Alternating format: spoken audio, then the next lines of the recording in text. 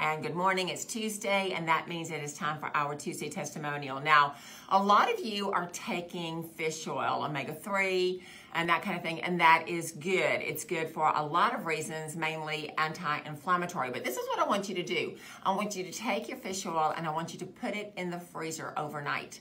The next morning, I want you to take it out. And if it is cloudy, if your capsule is cloudy, you know that that fish oil is contaminated with mercury. So it's not just a matter of taking a good supplement, it's a matter of taking the right supplement. You do not want to be taking an anti inflammatory that is filled with mercury. And this is why I love my job.